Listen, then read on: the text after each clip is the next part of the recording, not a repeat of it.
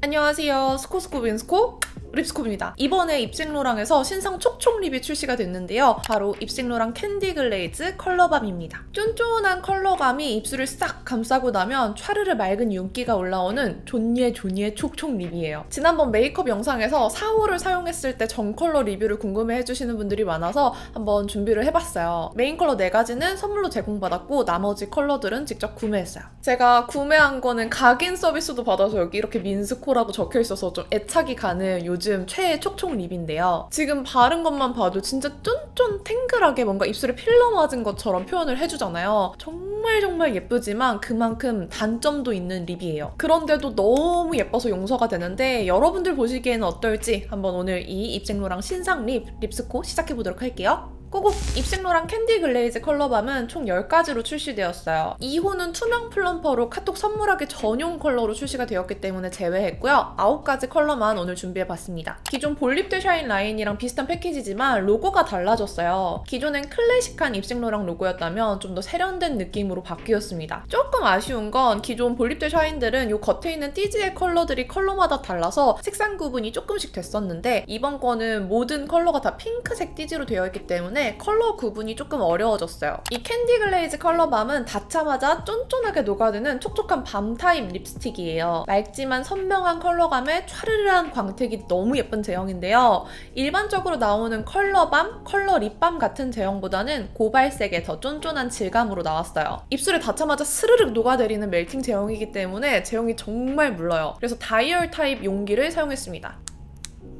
소리 들리시죠? 이렇게 다이얼 타입으로 조금 조금 올라오게 설계되어 있어요. 그래서 딱 한 번 바를 양만 올려서 사용하시는 게 깔끔합니다. 안 그러면은 다 물러버리고 막 지저분해지고 오히려 입술에 뭉칠 수 있어요. 딱 소량만 사용하세요. 근데 좀 신기한 게 이런 다이얼 타입들은 보통 후진이 안 돼요. 다시 되돌려 넣는 게 안 되기 때문에 호불호가 있었는데 입생로랑은 또 신기하게 이게 후진이 되는 거예요. 너무 많이 뺐다 싶으면 이렇게 다시 되돌려 넣으실 수 있습니다. 예전에 이런 제형들이 좀 나왔었는데 이런 제형들은 후진되는 걸 본 적이 없는데 이건 진짜 큰 장점이에요. 입술에 닿자마자 컬러가 쫀쫀하게 녹아붙는데 한 번 얇게 발라도 탱글한 광택감이 느껴져요. 하지만 한 번 더 터치해주시면 마치 물막 올라온 것처럼 물기 촤르르한 광택이 올라와요. 이 광택감이 입술 결점을 싹 다 눌러버려서 입술이 탱글탱글해 보입니다. 맑고 예쁜 광택감이 음파음파해도 사라지지 않는 게 또 장점이에요. 기존 볼립떼 샤인 제형도 스르륵 melting되는 느낌이었죠? 볼립떼 샤인은 얇게 녹아 무관하고 더 투명한 느낌의 제형이었다면 이번 캔디 글레이즈 컬러밤은 더욱더 녹진녹진한 설탕 시럽 같은 느낌이에요. 발색력도 더 선명합니다. 전체적인 컬러감을 보면 쫀쫀탱글한 제형이라 선명하지만 맑은 느낌이 가득해요. 살짝 누디한 컬러부터 쨍한 컬러까지 다양한데 저는 앞쪽 호수들이 특히 마음에 들었습니다. 이 볼륍떼 샤인 라인이 정말 향이 좋은데 그 망고 향을 그대로 담아서 맡자마자 어? 입생로랑 향이다 외칠 수 있는 그런 향이에요.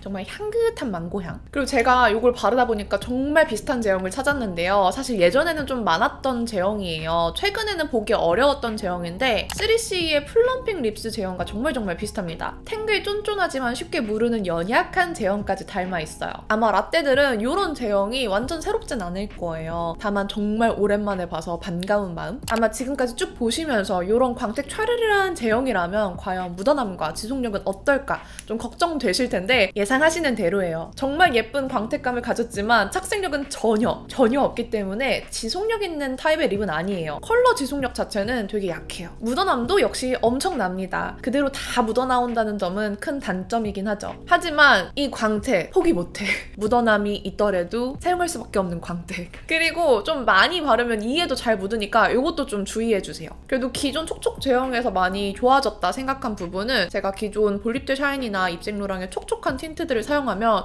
오히려 각질이 불어나서 마르면서 부각되는 경우가 많았거든요. 근데 이번 제형은 각질이 물론 촉촉한 제형 때문에 불어나긴 하지만 이 광택감과 보습력이 오랫동안 지속되어서 각질이 마르진 않아요. 그래서 각질이 말라서 부각되는 느낌은 전혀 없습니다. 컬러 지속력은 약하지만 보습 지속력 자체는 정말 짱짱해요. 제가 컬러들을 발색하고 지우는 과정에서 분명 컬러는 지워졌는데 입술 위에 쫀쫀한 보습력은 남아있더라고요. 그래서 바를수록 계속 입술이 케어되는 느낌을 받았습니다. 그래서 총평을 하자면 촉촉하게 입술을 케어해주면서 쫀쫀 탱글 촤르르하게 제형이 올라오는 점 그리고 맑은 컬러감이 너무너무 예뻤지만 어쩔 수 없이 지속력과 묻어남은 좀 포기해야 된다는 점을 참고해주시면서 발색을 보시면 도움이 될 것 같아요. 그럼 한번 아홉 가지 컬러 발색해 볼 건데요. 이 제형은 발라보니까 그라데이션과 발색 그 중간 느낌의 발색이 너무 예뻐서 이 느낌으로 한번 발색 을 해보도록 할게요. 그럼 고고! 먼저 4호 Nude Pleasure. 개인적으로 최애인 촉촉 누드 컬러예요. 제가 좋아하는 맥 비즈니스 캐주얼보다는 브라운 톤의 누드이고 헤라 스피치리스보다는 좀 더 맑은 느낌이에요.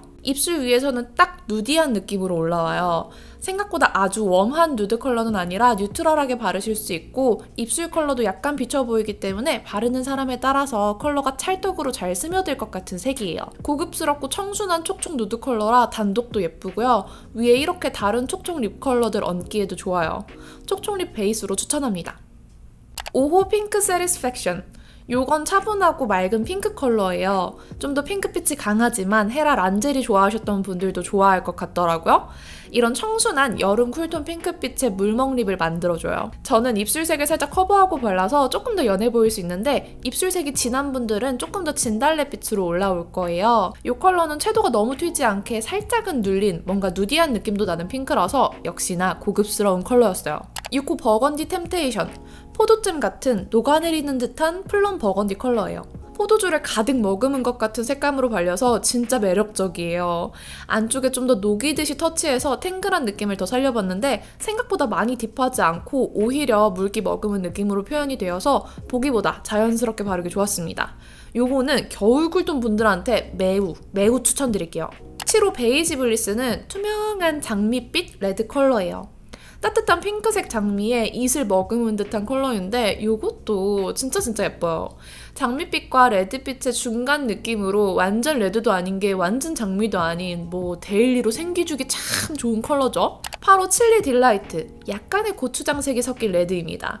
맥 로컬 셀럽이랑 좀 비슷한 결의 컬러였어요. 하지만 제형 특성상 되게 맑고 투명하지만 컬러는 쨍하게 올라와서 훨씬 채도감 있게 느껴졌습니다. 저는 칠리의 느낌보다는 오히려 오렌지 레드 컬러 같다고 느꼈는데 또 완전 오렌지보다는 레드 자몽과 칠리 그 사이의 컬러감이에요. warm 레드 컬러로는 이 컬러가 제일 영롱하고 예뻤습니다. 9호 Tangerine Tease 약간 핑크 코랄이 레드에 섞인 컬러 같았어요. 8호보다 좀 더 밝아진 레드고요. 핑크 코랄의 싱그러움이 섞여 있어서 좀 더 young하게 느껴졌고 봄에 잘 어울릴 색감이었어요.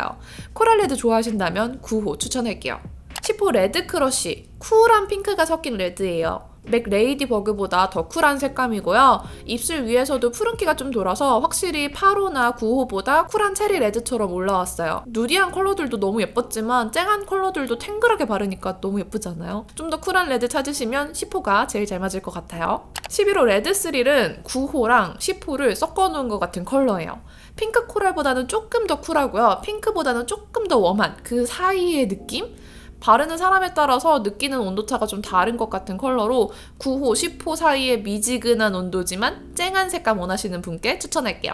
12호 Coral Excitement는 가장 여리여리한 라이트 코랄 컬러예요. 봄웜 라이트 톤이라면 12호를 가장 좋아하시지 않을까 하는데 그 정도로 여리여리한 코랄이고요. 제 입술색이랑 섞이면 조금 더 핑크빛이 올라와요. 워터스테인 뱅드 코랄 좋아하셨던 분들 많은데 그것보다는 조금 더 핑크톤이 많이 도는 색감입니다. 이것도 화사하고 청순하죠?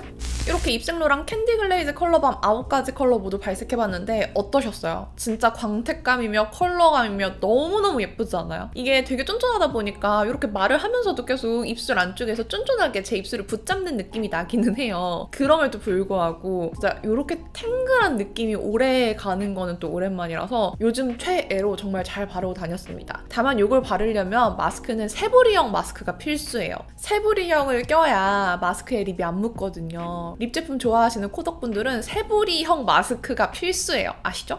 저는 개인적으로 최애는 4호, 5호, 6호였는데 여러분들 최애 픽도 너무너무 궁금하니까 댓글로 남겨주시고요. 오늘 영상도 이렇게 끝까지 봐주셔서 너무너무 감사드립니다. 그럼 남은 하루도 행복하시고요. 내일도 힘내시고 저희는 다음 영상에서 만나요. 안녕!